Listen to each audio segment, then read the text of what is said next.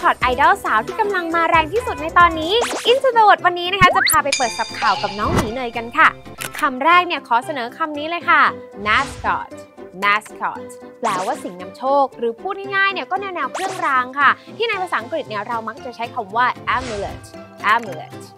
For example, a mascot named Butter Bear has captured my heart. Butter Bear เจ้ามัสคอตตัวนี้ทำให้หลงรักเขาแล้วค่ะ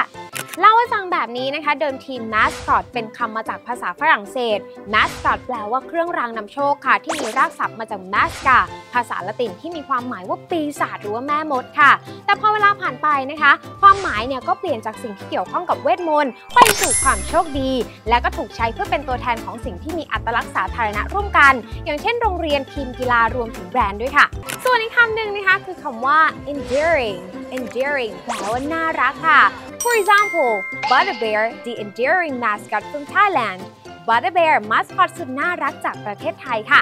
วันนี้นะคะเราก็เปิดศัพท์ข่าวกันไปทั้งหมด 3 คำมาทวนกันค่ะคำแรก mascot สิ่งนำโชค amulet เครื่องราง และ endearing แปลว่าน่ารักค่ะ แล้วเจอกันใหม่ใน episode หน้าใน Into the Word เปิดศัพท์ข่าวนะคะสำหรับวันนี้บาย